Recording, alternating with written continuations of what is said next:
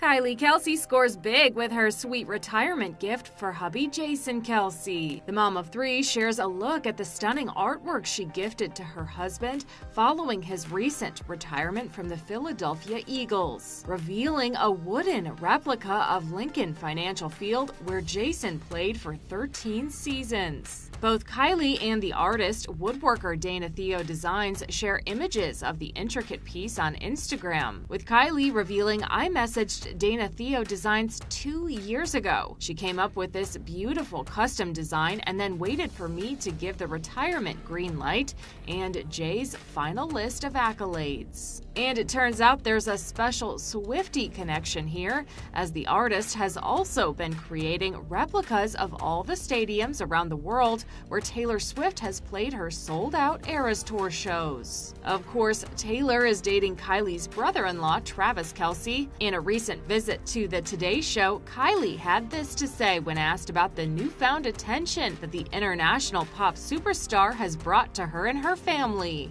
Travis, Uncle Trav, is dating a certain someone. Yes. Don't want to put you too much on the spot about it, but what's it been like to kind of watch that close up? Um, ultimately, if Trav is happy, we're happy. Um, we are always cheering on Uncle Trav. It's such a treat to be able to do that on and off the field.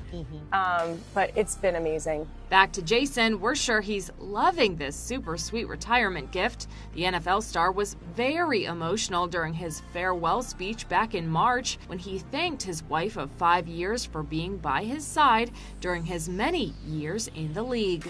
I think it's no coincidence I have enjoyed my best years of my career with Kylie by my side. Every accolade I have ever received has come with her in my life.